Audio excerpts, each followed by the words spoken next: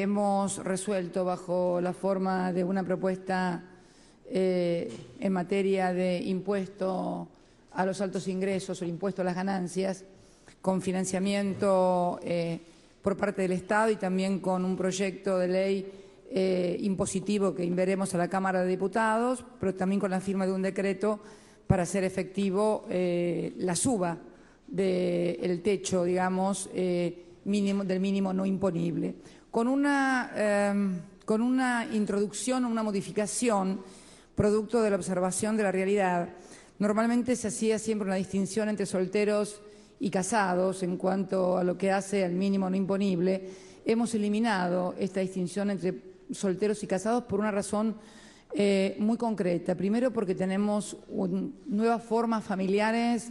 que eh, mm, hay gente que es soltera pero vive en familia, tiene hijos, otra que son familias ensambladas, que son divorciados o solteros técnicamente, pero que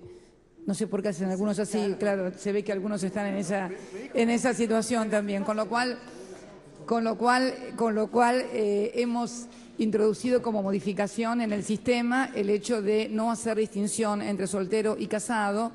y sí, hacer una distinción entre un techo de 15.000 a 25.000 eh, en deducciones eh, para los casados, eh, para que igualmente quien está casado, si no van a decir que no fomentamos este,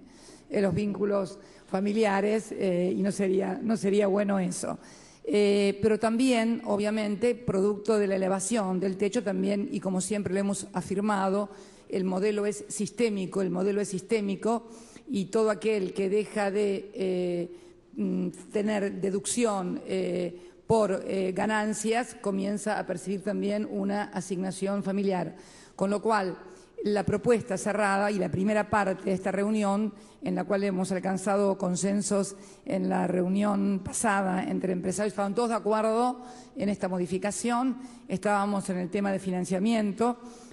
habíamos convenido fundamentalmente que no grabar eh, el ahorro de los argentinos, sobre todo el ahorro de los argentinos que lo hacen en pesos y aquí en la Argentina, porque esto sería contraproducente. Parte de esos ahorros están destinados también a la inversión a través de productos, de los productos, eh, digamos, de los préstamos, mejor dicho, eh, del sistema financiero a las pequeñas, medianas empresas y grandes empresas, pero sí una parte va a ser financiada con la creación de un nuevo impuesto y la otra parte va a ser aportada por el Estado a los efectos de no de financiarlo.